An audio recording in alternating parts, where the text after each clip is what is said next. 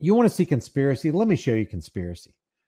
And this has everything to do with what we're talking about because if you take the power away from and pull the rug out from under Washington's District of Criminals, which is a federal corporation, and I'm going to prove that to you in a second from their own US code, 28 USC code 3002 15A. Do you know what the United States really means? When you say you're a citizen of the United States, you know what you're saying?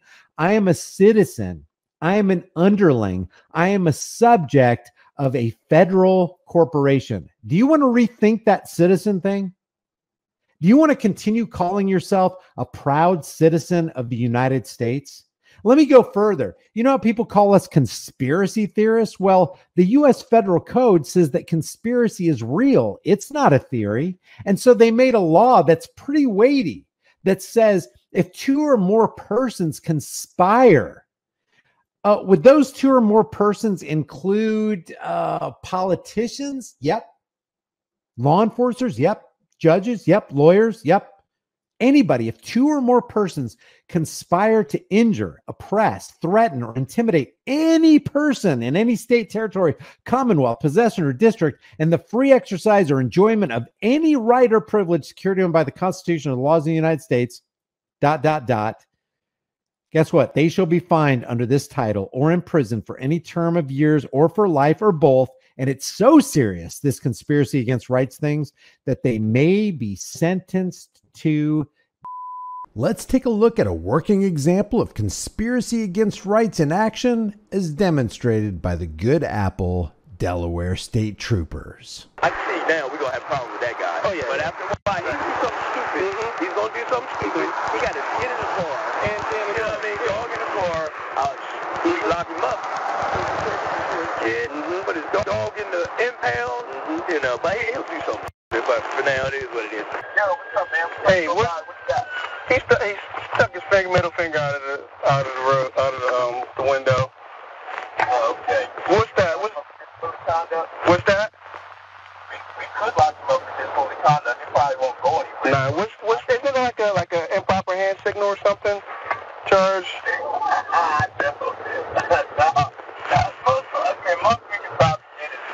No, I mean like if you if you stick your free, I'm telling you, if you put your arm out the road, your hand out the road, and you you like with a middle finger, you could. That's like a, isn't that? That's 18 USC 241, which is the, the companion to that is 18 USC 242.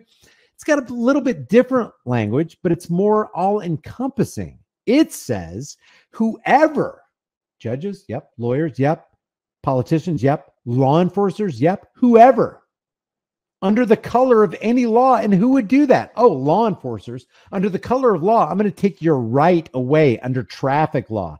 That is deprivation of rights under color of law. If you lose your rights during a traffic stop, you've been deprived of your rights. If you've been deprived of your rights under the color of traffic law, then the person who initiated that deprivation is in violation of 18 USC 242. And if he goes back to his cruiser and talks to his buddy how they're going to take away your rights, they're in violation of 18 USC 241 and they're conspiring against your rights. And they're doing all of this under the federal corporation called United States. And it's all in their federal code. That's 28 USC 300215A, 18 USC 241, and 18 USC 242, which says whoever under color of any law, statute, ordinance, regulation, or custom, even a custom.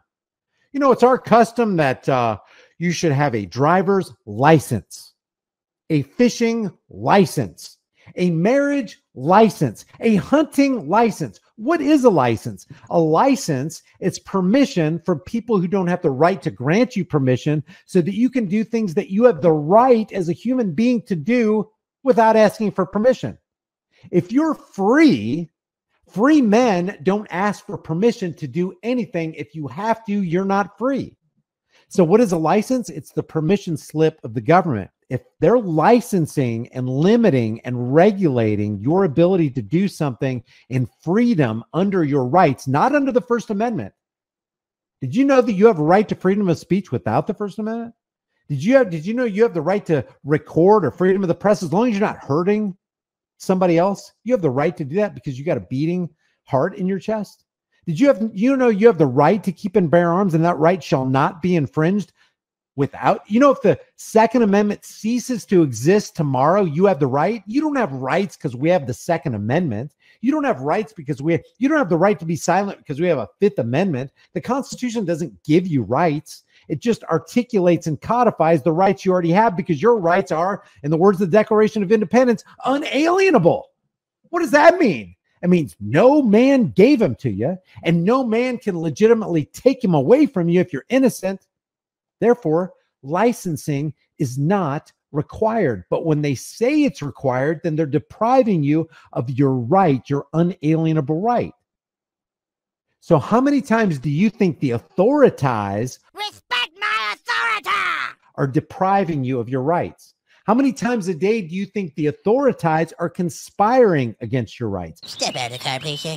How many times a day do you think the authorities are acting under the code of the United States, which means federal corporation?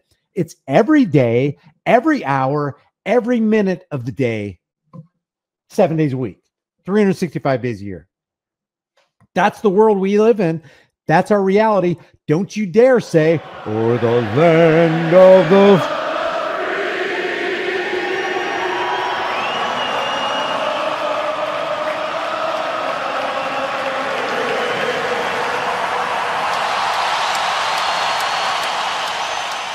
Zip it, zip it, zip it. You're not brave. You're not free. You're in bondage. You're a slave. It's not the home of the free. It's the land of the fee. It's the home of the slave. That's our reality. And we need to do something about it. So if a law is unjust, a man is not only right to disobey it, he's obligated to do so. Why? Because the morality in his heart screams out against it. This is wrong.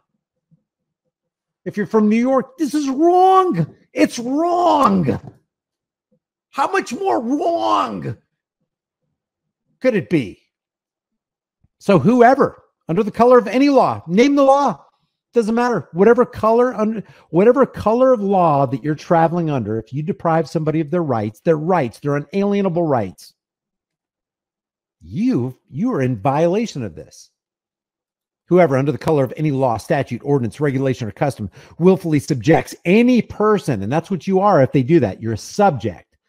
Refer to the 14th Amendment for that one territory, commonwealth, possession, or district to the deprivation of any rights, privileges, or immunities. Did you know you have immunities? Did you know you have immunities? But guess what? The authorities, who are supposed to be our public servants, who are supposed to be benefiting us, don't recognize our immunities, but we're supposed to recognize theirs. And we have to respect them. If we don't, then we get in trouble like little kids. You little kid, you got in trouble for this because we have immunities and you don't. When actuality, we're the ones that are supposed to have immunities. And they're the ones supposed to be serving us. But they don't. They conspire against us and they deprive us of our rights. And according to 18 USC 242. What is the remedy for somebody who would dare cross the line and violate your rights and deprive you of your rights? Oh, that's right.